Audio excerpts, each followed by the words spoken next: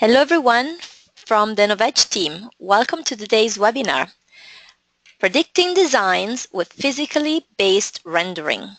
Today you will see how interactive physically based rendering can expand your design insight by giving a true prediction of your creations as you make decisions. We will explore uh, the latest NVIDIA Iray offerings for 3ds Max, Maya, Cinema 4D, and Rhino, along with how Mental Ray for Maya is transforming M&E production with a 20 times speed up. Today's presenter, Phillip Miller, leads NVIDIA's product management team producing commercial rendering products. He has uh, over 20 years experience in guiding industry-leading tools for creative professionals at Autodesk, Adobe, and NVIDIA. He's also a registered architect and best-selling author on 3D modeling, animation, and rendering. Before we get going, here's an overview of what we do at Novedge. Novedge is, the, is one of the largest online stores for design software. We offer a huge assortment of software solutions that cater to virtually every designer's needs. So visit, at, visit us at novedge.com and check it out. For more daily software news and limited time promotions, pay a visit to the Novedge blog and follow us on Facebook, Google+, and Twitter. And last but not, oh, I forgot to let you know that next week we'll have a webinar on VisualARQ 2.0, Flexible BIM for Rhino. And um, last but not least, today's webinar is free and is also being recorded. So if you want to rewatch this webinar or any other webinar episode in our collection, just head on over to Novedge's YouTube and Vimeo channels. And now I'll stop talking and start showing Fill screen. Enjoy.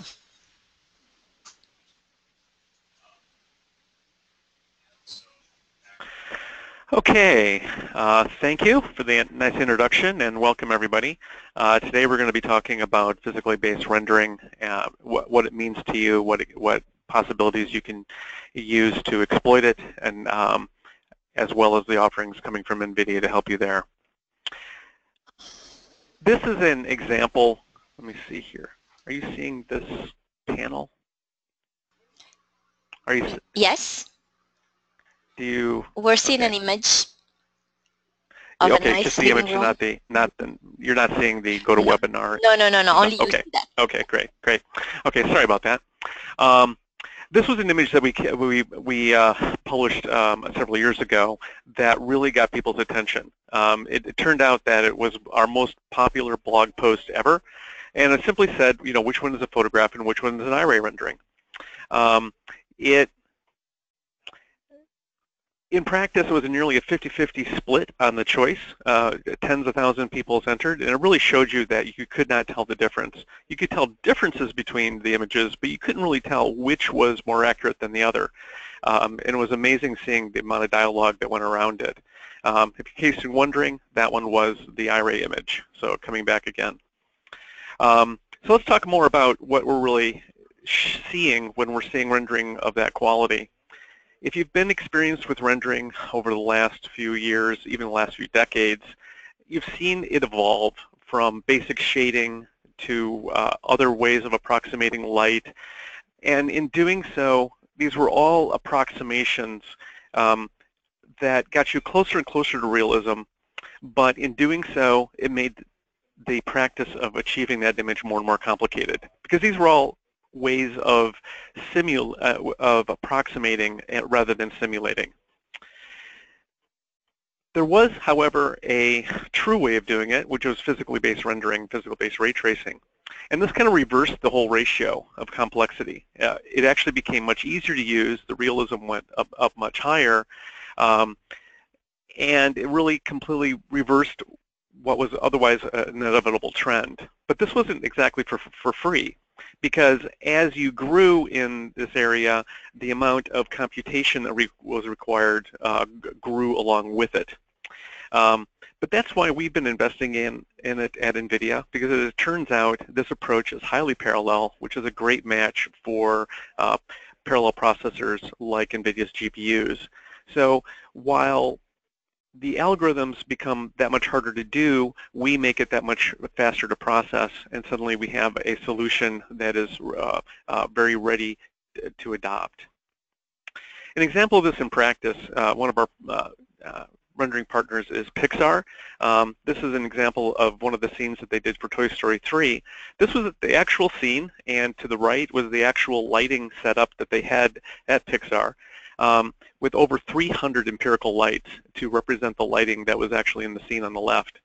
When they switched this over to their new lighting model, which is uh, physically based, they simply had six lights within the within the room and one for the outdoor scene, and that was it. Um, a completely different way of managing the complexity of your scene. Um, and this is why it's sweeping not just uh, the design industry, but also the studio industry as well as an approach. And this is now becomes an interactive lighting tool that we're working on with, with Pixar uh, with. So in practice, it actually is very simple. You think about how light and materials work in the world around you, and you assign them accordingly. You don't have to think about computer graphic tricks, for example, putting lights below the floor to light the ceiling. You never do that again you simply assign the materials that are, that that that are are appropriate, uh, the lighting that's appropriate. In this case, all the lighting is coming from the outside scene, uh, outside uh, window, and then you click render and you get this result with no additional tweaking in between. So that's what we want to talk about today, a workflow where you simply assign, think about how the world, real world works, and you get these results. Here's another example. This car is actually not on this stage. Um, this is an example that we showed at our GTC conference a couple years ago with, with our partner Honda. Um, this is actually the, uh, a CG model all rendered within our Iray renderer um, and then using environmental lighting to accurately uh, put that uh, car in that space. Going back to a 50-50 split again, that first example was so popular we did it again. This one, uh, this example happens to be the Portland Armory that was converted into um, an art gallery.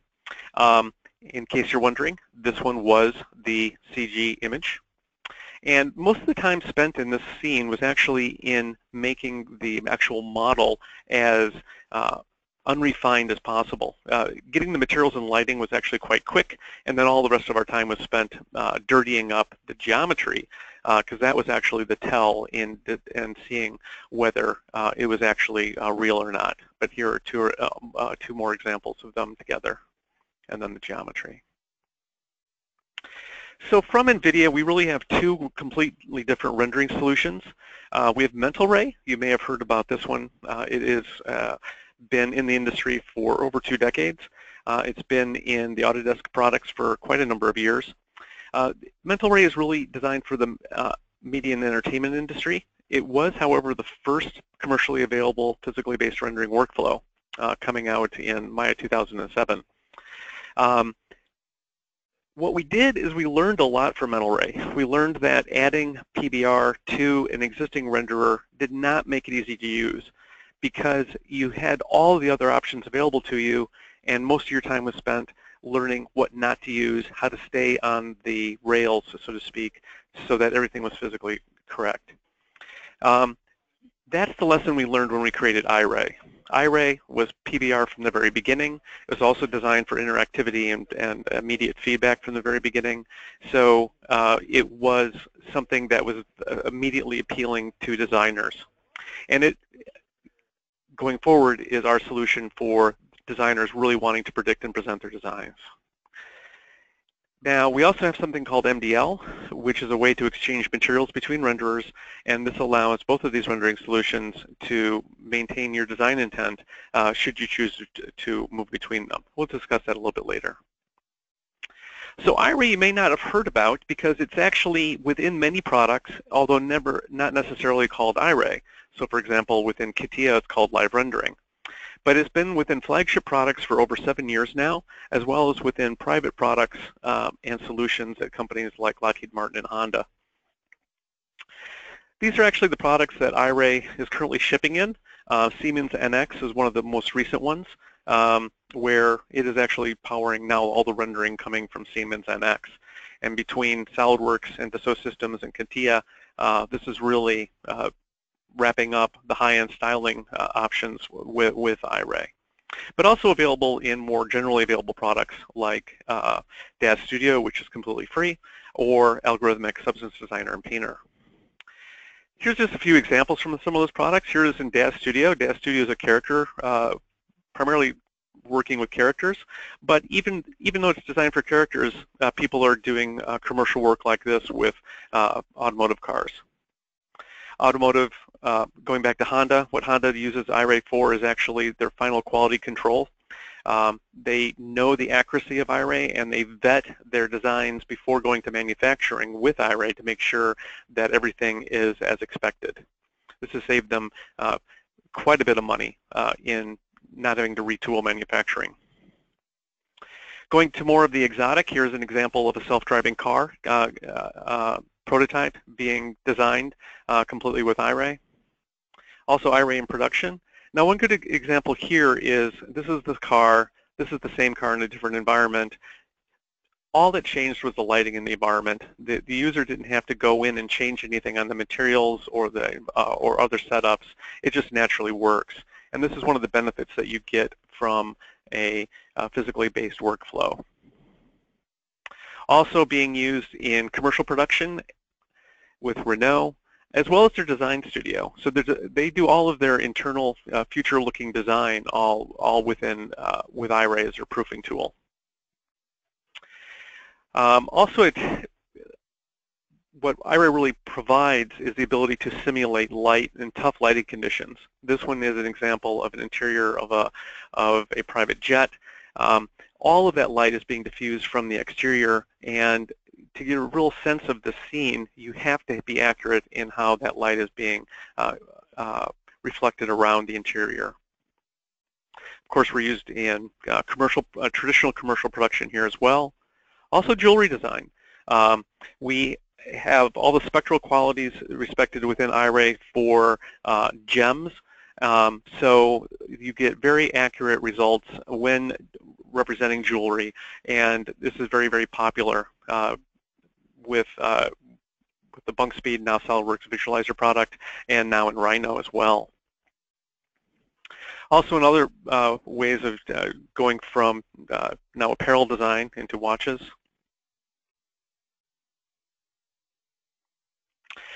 So what this really means for what you need to know about iRay is that it's simple to use because it's physically based, which means that you just have to think like a photographer, like in light the scene as a photographer would, and you will get the results that a camera will. It's also highly interactive. Everything that you see, uh, you get immediate feedback on, so it's easy to get uh, an understanding of all of your uh, uh decisions. And also, what you see interactively is just a rough proxy of what you're going to get eventually. It is not day and night different. So this means that as you're making your lighting decisions, material decisions, um, while it might be grainy because we're a progressive renderer, um, it is an accurate prediction of what you're going to see eventually. And finally, it's highly scalable. With iRay, you can always make it go faster, whether it is in adding more processors to your machine or even scaling across a network to take advantage of many machines. Now coming back to predictive design, this is an example that we, we took to the next level where we actually had a physical environment where we took a light booth um, and put the actual physical drill in the light booth, uh, pointed a camera at it, and then put that uh, uh, the resulting screen side by side with the screen coming from 3ds uh, Max. And uh, here we invited all the attendees from SIGGRAPH to actually pick the difference. And again, we achieved a 50-50 um, uh, balance on what was accurate and what was actually uh, real uh, within the booth, uh, showing you how accurate you can really get with iRay. Now, this wasn't so much about fooling people or about, you know, trying to match the real world for uh, that sake. It's about predicting what's not going to be built yet. Here's an example eh, where we use it in NVIDIA within our own designs of the Shield console. The challenge here was to accurately predict what the light pipe was going to do with, within this design. Uh, so the, the, the four or five uh, LED light sources were accurately modeled and placed, as well as all the diffusing plastic on the inside. And our designers were able to accurately maneuver uh, their arrangement of components within it to get a clean linear strip of light um, and be able to preview that within iRay. This saved them dozens of prototypes that they would otherwise had to have done uh, to have, uh, through trial and error basically, uh, to get the same result. We're then doing it on a much more massive scale. We're building a new headquarters building at NVIDIA, and our challenge here was to simulate all the natural daylight because this the building's goal was to maximize the use of natural light. Um, this in, influenced both the architectural design, layout, and even geometry of the building, uh, and it allowed Gensler architects, uh, who were the uh, designers on this project, to explore many new possibilities uh, and have reliable information on the actual lighting levels while they were doing it. Today, we're actually taking this one step farther, and we're actually bringing all this output uh, into VR uh, for a one-to-one -one, uh, experience so that you have an immersive, uh, true sense of scale with the environment as well. Be based a little bit later. Another thing in action um, here we have Lam Partners in, in southern LA uh, creating a new stadium, which they predicted the actual design completely within iRay and actually replaced their previous uh, lighting simulation software with iRay because it was both accurate and gave them the right imagery.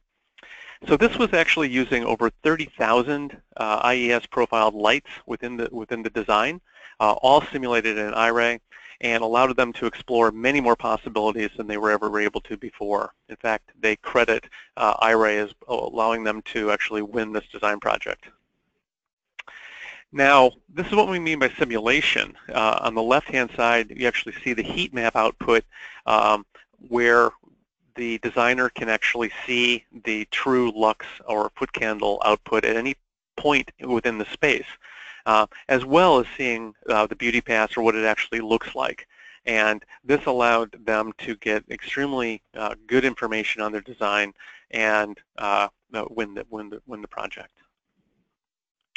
Now, when you think about predictive design, it's really all about balancing all the elements that go into the uh, rendering workflow. It starts with having an accurate renderer. You need a physically based renderer uh, that, that prides itself on accuracy.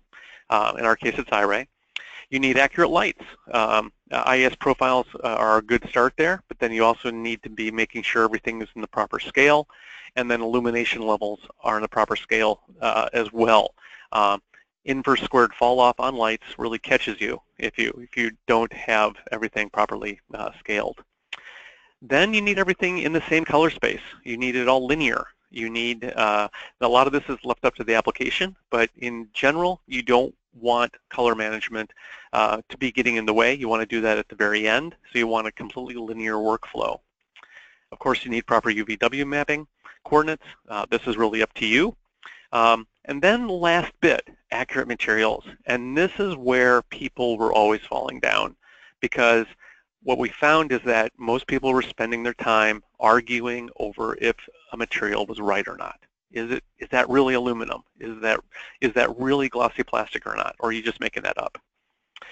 So here we've invested at NVIDIA in creating a library called vMaterials. vMaterials is a collection of over a thousand verified materials that are as accurate as we can make them and give you a great starting point for making your own designs.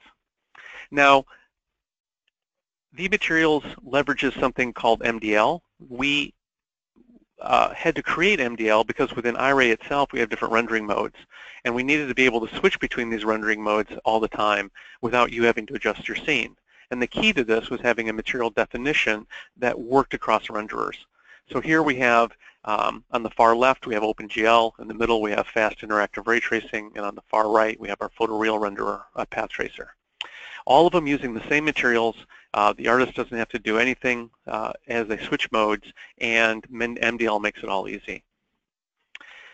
In doing that, we made it possible that MDL could be used across other renderers as well. Um, so later on this year, you'll be seeing it adopted within V-Ray. Um, and then Allegorithmic, within their Substance Designer and Painter products are creating a wonderful workflow um, for creating uh, custom MDL as well. In action, here's a couple um, examples. Uh, this scene right here is using Iray Interactive, the fast ray tracer. And I'm going to move over to the next scene, which is uh, basically switching rendering modes. And I'll go back and forth a couple times here. And you'll notice that the reflections near the windshield, and especially in the headlights, are changing, but that the materials are basically rock solid. Um, and that's what you get with MDL, consistent material definitions between materials, and then what's actually happening, and then the difference in rendering comes down to lighting and how it's bouncing. So MDL in action, here it is within 3ds Max. Here's an extreme case of layering a material, uh, all done by uh, an end user who posted this example on the forum. And then also in Substance Designer. So these are actual procedurals, believe it or not. These are single material procedurals, all within the Substance Designer product. Uh, here you can see how you can uh, network your material to any level of complexity you'd like, output them, and get single materials that are as rich as these. Uh, people within Substance Designer are even taking it to the final result, um, actually using Substance itself uh, for final rendering output because they're finding it uh, so easy to do all their work right there. Now, while we enjoy bringing rendering solutions directly to products, the ability to serve them only happens every once in a while. We're lucky if we have a, a chance once a decade to be considered uh, just, just the way that uh, products evolve. So we're, NVIDIA is now bringing uh, our rendering technology directly to you in the form of plugins that you can add to your favorite product. So right now we have plugins for 3ds Max, uh, Maya, Cinema 4D, and Rhino, as well as a distributed rendering solution called Iray Server that, that uh, is usable by all of them. connecting all of these is really MDL, coming back to uh, materials again, because materials are key. So the same vMaterials can be used in all these products, um, as well as over to Mental Ray and soon V-Ray, uh, shown down at the bottom. And then all these material definitions can be shared between them. So if you start off in Rhino, for example, um, uh, while you're uh, working on your design and then you need to uh, do your final presentation in Max or Maya, no problem, bring over, the, the, bring over that MDL and everything will be maintained. Now in our solutions, we wanted to make them as integral and seamless as possible. Each one is different because each uh, product is different. The way they relate to you, the opportunities available to you are very different between Maya, Max, Cinema 4D, and Rhino. So this is an example of Iray within Maya. Uh, Maya, uh, here we take advantage of their IPR window, um, and that upper right is actually your working set environment for working uh, within Iray. Here we are within Rhino. Uh, this is actually your viewport. It's totally interactive. Uh, you can click on things, drag and drop materials there. Um, even this is your working working uh, viewport within Rhino when when made uh, full screen here. And yes, Harley Davidson does use uh, our plugin here for uh, some of their design work. Now we're coming over to 3ds Max. Uh, Iray within 3ds Max. Uh, our plugin is actually what we call the real Iray. Uh, the version within Max um, is actually built on Mental Ray and doesn't have nearly as many uh, possibilities as uh, this plugin does.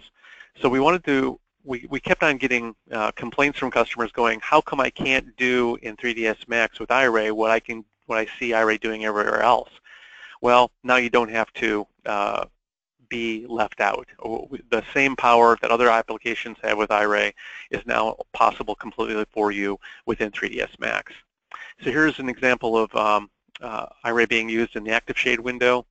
Um, here again, also within the active shade window, uh, showing you the material uh, node network.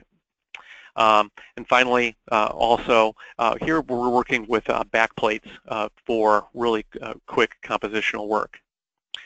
Now, that's enough of me talking and enough of slideware. I'm going to hand it over now to Jay Axe. Jay is our product manager on 3ds Max Rendering Solutions and he's going to give you a guided tour of the 3ds Max solution in action.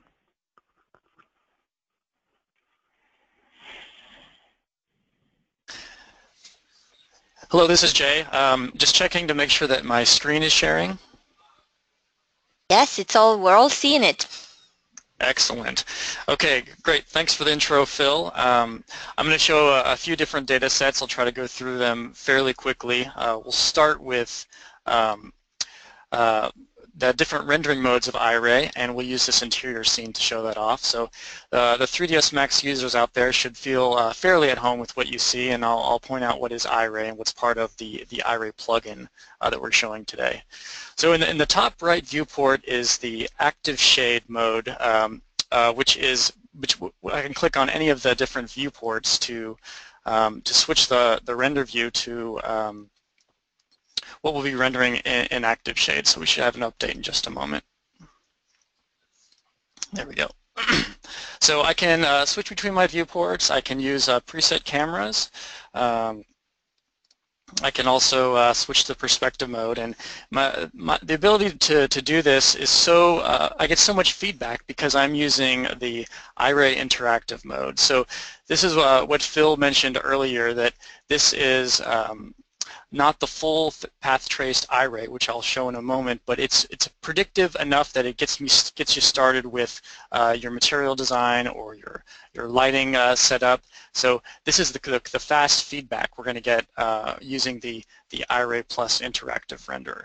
And a question I, I, often get when I get this far into the demo is what are your resources? So if I if I scroll down in my render settings, you can see that I'm running on two Quadro M6000s. And if I want to just go down to one M6000, I can show you what the, the, the feedback is with just one. I go back to walkthrough. And I can also switch between some predefined cameras. So we can look at a different part of the room. Uh, and I'll go ahead and enable my second GPU. But you can see you still get pretty good feedback with, uh, with just one GPU rendering. Um, something else we can do is switch between uh, different lighting setups uh, pretty quickly on the fly. So we have a, we're, we're doing image-based lighting right now for the environment. Uh, I can switch from uh, an early morning um, IBL is what we call it to a, a night IBL. We should get that feedback immediately. And uh, one of the, the comments that, uh, that we often say for uh, iRay is that you have to think like a photographer. So if you're thinking like a photographer and you go from morning to night, um, you would have to adjust the exposure settings of your camera. So we use uh, tone mapping within the plugin to adjust that exposure value so that you can see a little bit brighter. And since it's evening, we're, we have a much warmer light, so I'm going to adjust my white balance on the fly to uh, something a little bit cooler for uh, the evening. And if we want to have a more um, you know, an evening look with a, a little bit less uh, illuminated or at least less exposure, you can uh, adjust that on the fly. Now, this is still within the, the preview renderer, so we'll take a look at the, and by preview I mean the iRay Plus interactive renderer. So I have different um, optimizations I can do to, to keep my performance going uh, uh, fast for, for, that interactive feedback. Um, so if I swing the camera around, Let's do something like that. And I can affect the amount of uh, bounce light. So the, a lot of the light that's, that's going on in the scene is, is light bouncing around the scene. So if I limit that down to even less, you can see that we're not even uh, getting light in through the window. So if we increase the bounces, we, we can start seeing more light around the scene. And this is just different ways you can optimize the scene to um, you know, have uh, fast uh, performance and, and feedback. Uh, let me fly around back here a little bit. Okay, let's take a look back over here. Um, another approximation uh, is the, approximating the bounce light. So if I turn this off, this is what um, the, the iRay Interactive um, uh, ray tracer is calculating. And by using that approximate bounce light, it's giving me that preview that I was talking about of what the lighting would be in these areas. Um, while we're using the iRay uh, Plus uh, interactive render, uh, let me switch back to the main camera. Uh, I'd like to talk about some of the artificial lights that are created in the scene. So I'll, if I can temporarily go to um, the environment lighting and we have it as the night IBL, I'm going to turn that off. Okay, so that's going to go to none. So now we're just looking at the interior lighting. And for the sake of the demo, I've used the uh, the timeline to animate the lights turning on and off. So if I move to the next frame, you can see that the lights are completely off. Uh, we have a, a, group of lights on the right side of the screen, and then we have another group, and then we can turn everything back on. So if I swing back to that first group, um, switch to another view, something like this, I can select a light source, and I'll go to my Modify panel, um, and you can see that I'm using a uh, an IES profile here. So if I toggle that on and off, you can see that this uh, adds to more accuracy within your design. And while we're using the Iray plus interactive render, I can move lights around the scene and get feedback very quickly so that I can uh, have a lot of control about how I would predict my, my lighting setup for design. Okay, pull that back. Now, everything I did so far was was for fast interactive uh, um, interaction with the scene. And the next step I'd like to do is I'll pull back to um, the the main camera and let's turn some lights back on. Uh, we'll go ahead and turn on. Um, let's put the environment lighting back to night. That should be fine. And let's turn on all the lights. Now, um, moving from the predictive, uh, I guess, the, I'm sorry, the preview lighting for uh, this interior space, I'm going to switch over to the Iray Plus renderer that gives you the full simulation uh, of your lighting design. So I'm going to go ahead and hit render and when I launch the uh, active shade this way, it's um, a floating window as opposed to docked in the viewport. It's just two different ways you can uh, set up your, your workspace, whether you're uh, interacting with the space designing or if you want to have um, uh, a larger, um, uh, I guess, preview of the, of the render. Um, what we have going on now here is we can see the iteration count. So as these iteration count, uh, as the GPUs render, this increases, uh, it will resolve the noise. This is uh, part of um, Iray and the way uh, it's a, a, a, progressive renderer. So as this uh, continues to render, we have a better preview of what the, the scene will look like. And I can use the same um, interactive workflow with both renderers. So I'll really quickly go down to the lighting setup and let's, let's switch to a physical sky. Um, the physical sky is representing the uh, a procedural system to represent the actual light values as, as a simulation. So that's why the screen or the render becomes very bright. So I would have to expose down to expose for those um, real-to-life values. Um, and I've created this little script that uh, so that I can analyze my interior space with the, the natural daylight. I can move it to the left, and that takes it earlier in the day, and I can move it to the right to move it um, you know, later in the afternoon. Now, in terms of predictive design, we have another tool that we call um, uh, Enable Analysis. And so we have a good view on the space. I'm going to switch to a higher camera angle. There we go. So by hitting this uh, Enable Analysis, this switches it into, uh, it kind of looks like a heat map, but we call this a radiance mode and it's set to an automatic value, but um, if I set the custom uh, lux values to, oh, about um, uh, I, natural daylight would be at the highest about 150,000 lux. So if, if, we go down to what would be comfortable like in the shade, if you were under a tree, that would be uh, 20,000. And, and, you can immediately see that looking at the um, um, the false colors diagram here that this is showing, uh, as you would expect, the, the direct sunlight to be much brighter than what would it would be uh, in a shady environment. So the energy in the scene is quite um, comfortable for, for most of the areas, but you can, uh, as is expected from the direct sunlight, uh, you have much more intensity. And I can also change my uh, time of day. So you're using the same um, material setup, uh, lighting setup to do this analysis on uh, natural daylight. Um, the next step I want to show you for uh, analyzing this, the, the scenes, uh, the energy from light sources is what would be comfortable for um, the artificial lighting. So I can go back to the uh, um, environment lighting and we'll, we'll, we'll turn off that sun and sky system and now we're going to want to look at the, the, the lights that are on the wall. So this is the artificial lighting. And what's comfortable for um, uh, working at your desk or having uh, just an interior space is between um, about 200 and 1,000 um, uh, as a, a lux value. So, and you could even go down to something like, I guess, 500 to make this very apparent. And I'll switch to a different camera angle too. So you can see that the, the energy from the, the light sources, there's a group of lights overhead and there's a few on, on, on each uh, side of the room. Uh, the, intensity here is, is quite comfortable for uh, an interior space. And you can use this to evaluate the, the, the type of light sources um, that you would want to install uh, with your lighting and fixtures. And, and I mentioned IES profiles uh, earlier. These profiles are what uh, can be obtained from lighting manufacturers uh, in order to do this predictive design. And at any time I can turn off uh, the enable analysis mode and then we're looking back into the beauty render.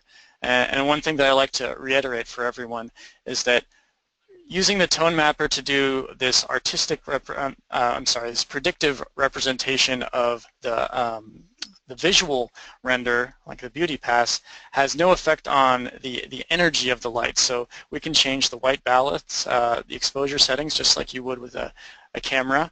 Uh, let me go back to uh, something a little cooler. And even with those adjustments, if I go back to my analysis, we still have the same results. So it's a, it's a good feedback in order to uh, know that if you make any adjustments to the scene uh, uh, for, for your design choices that these are two ways of getting um, feedback within the same uh, rendering context. Uh, the next thing I'd like to talk about is materials, so we're going to switch to a different scene for that. Let me close that down for a moment.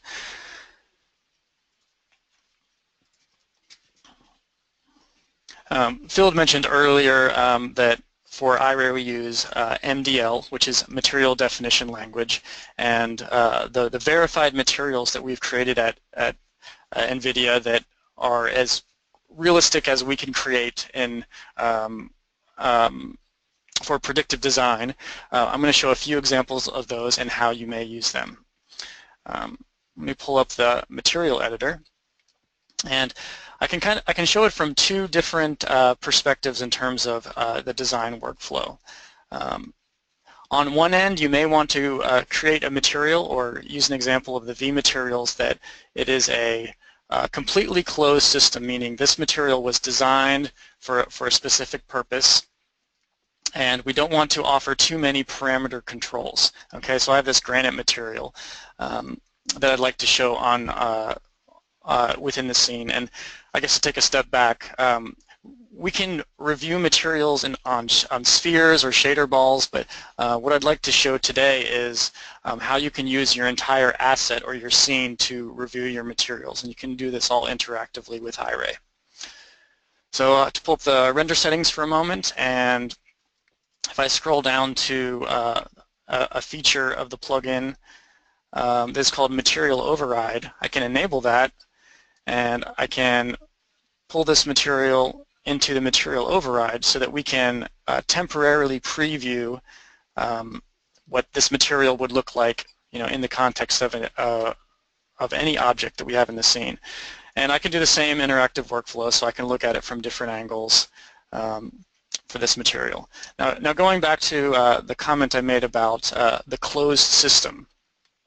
So this material um, was created by uh, um, material designers at NVIDIA uh, for, for this granite and the, the only the parameters that are exposed are what uh, we believe are accurate in what you could possibly create for a material in real life. So you could adjust the reflective value of this, but you cannot change.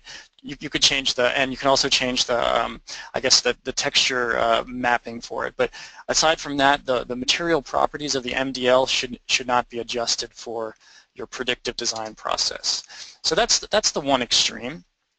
Um, the next thing I'd like to show is um, how you can um, have a material and actually have more parameters to adjust, whether it may be for um, uh, predictive design and materials or um, for artistic choices. So I have another um, vMaterial uh, catalog for fabrics, and I'm just going to quickly uh, pull different materials on the override so we could see what uh, a velvet material might look like. Let me pull the camera back down. There we go. So we have a velvet material. Uh, we could try a leather. And this is all using the, um, uh, actually for this workflow, I'm not using the Iray interactive workflow. I'm using the full um, path tracing result. So this is as predictable as the, uh, we can make the materials. Um, I'd like to show a fabric material and um, actually let's show, um, where is that one right here maybe? Let's try this guy. Yeah, I'll show a few more. Okay, let's show one that's in the scene. Okay, so if I have a scene that's a material that I pulled from this catalog and I worked on a little bit more, I can pull that into um, the override so we can review that material. Um, and if I double click on it, we can look at the parameters. There we go. So the material I created for the, the wrap um, started from a AV material that had a, a very simple uh, fabric base and I added a uh, flip-flop paint just to add a nice effect to it that gave it a sheen. So I can use this eyeball to toggle that feature on and off. So this is what the, the vMaterial looked like when it started and this was the enhancement I made to it. So we're using a, a layering system, and here on the left you can see this is the um, the, the entire uh, material structure. And the weight is quite low, so I'll for, I'll temporarily make it a little bit higher so you can see a, uh, you know a very strong effect that it does. So you can turn these layers on and off to uh, adjust uh, the material design. So this would be for if you want to create a new material based off of an existing vMaterial. And if you don't like working in within the um, as an override, you can also work on it within the context of, of your scene. So I'll, I'll turn off the material override. And the one last uh, thing I'll show for uh, material layering is, let me go ahead and zoom in on this pillow. So this material as well started with a base that was a vMaterial, and I put these stripes on it as an enhancement of the design. Uh, so let me pull back a little bit and we'll look at that material. So this one has a few more uh, layers, and I'll, I'll, collapse them down so you can see the few different uh, uh, additional layers that I created. So uh, the base was the vMaterial, and I went ahead and made a, a paint, and I added a gloss finish on it. And I did them separately so I could um, uh, review the material uh, as you would, I guess, create it with multiple layers uh, in, in real life. So if I disable the gloss finish, we can see just the paint. And if I wanted to adjust the paint, you know, I could change it to a blue color, or, you know, change it however I'd like. Um, and if I like the way this looks and maybe I want to review it with a different lighting setup, I can use that same workflow where I go back to um, the environment lighting and we'll switch to uh, an exterior lighting setup. And let's go ahead and turn that gloss finish back on. So we can see what it looks like.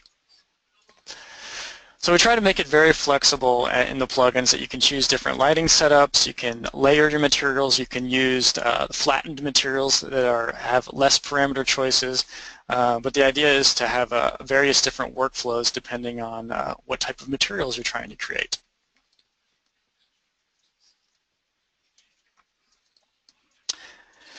And that uh, concludes the, um, the material part of, of the demo. Um, I can go ahead and, well, we have a few more minutes. Um, should we open to questions or do you want to go to uh, uh, um, the next scene?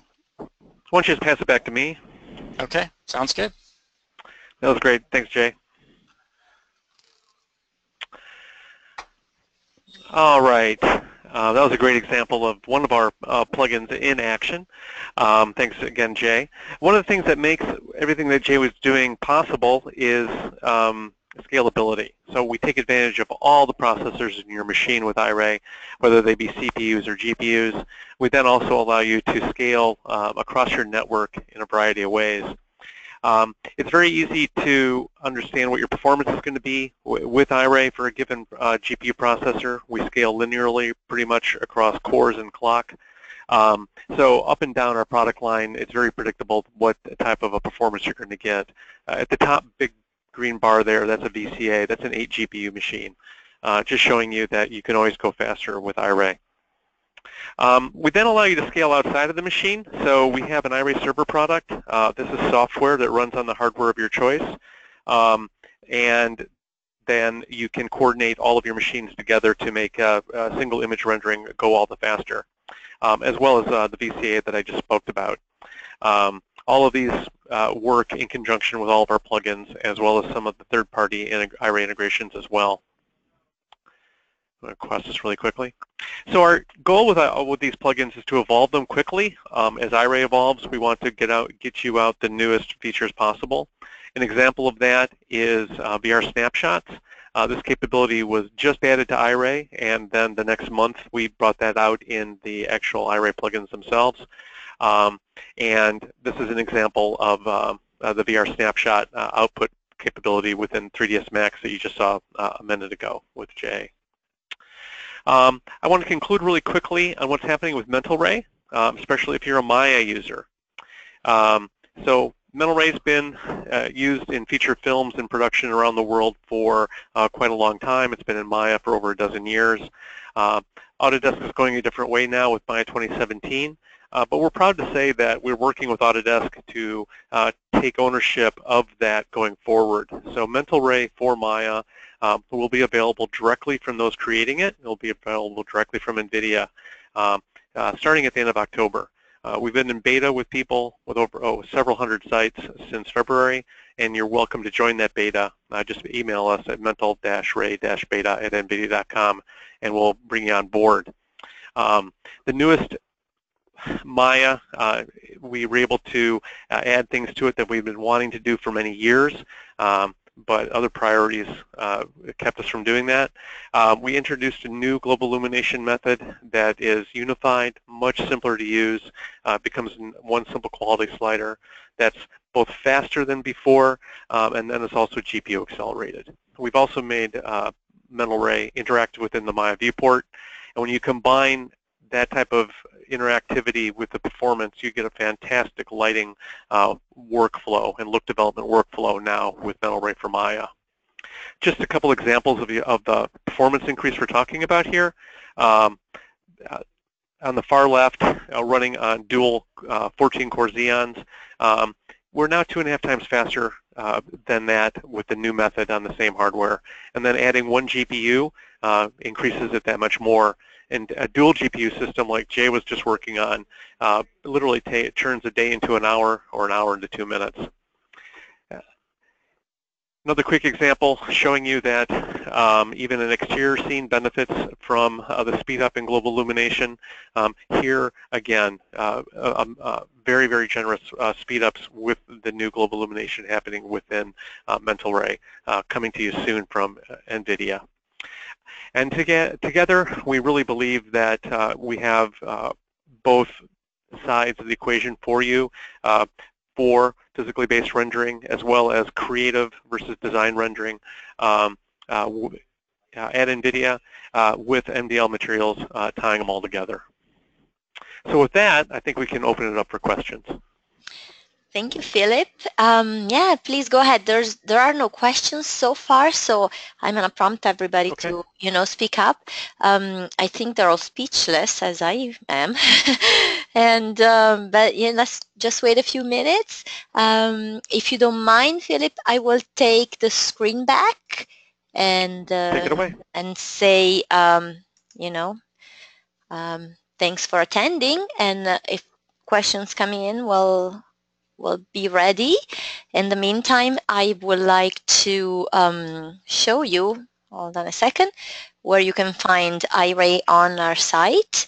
And um, it's there and soon, hopefully, um, Mental Ray as well. Um, so come visit us and um, we have a, a couple of questions. Uh, what's in store for Rhino? Um, what's in store for Rhino? So um, uh, Rhino is being up, um, being updated with uh, VR uh, output uh, right now, and longer term, we're taking a look at the new Rhino 6 and what we can really take advantage of there. Um, and Associates did a great job making it possible for a render to become much more integrated in Rhino, and we're looking at uh, doing exactly that. So um, uh, incremental improvements for Rhino 5, but for Rhino 6, we're hoping to do great things. Great. We're so excited. And um, uh, for Cinema 4D, uh, would it work uh, on the Cinema 4D for Mac as well as the Cinema 4D for Windows? Yeah, that's a great question. So today, uh, the answer is yes. Um, and it's a little embarrassing, but we've been learning uh, how to productize on the Macintosh. and so while the code has been running great on the Mac, um, our ability to uh, license and update on the Mac and even install uh, is what we've been uh, struggling with. So if you go up onto our beta, you can get the Mac version. It, it is exactly the same version as the one we released for Windows last April. Um, it's, it's production proven. It just doesn't have um, the little bits necessary to make it a product. But uh, the official support for it uh, will be coming out uh, later this month uh, for the Mac. And then from here on, we'll be supporting the Mac just fine. Great news. Can you speak more uh, about the sharing of materials with V-Ray through MDL? What will the workflow be like? Okay, good question. So every product that adopts MDL, of course, is going to be on its own for what it wants to do to expose them.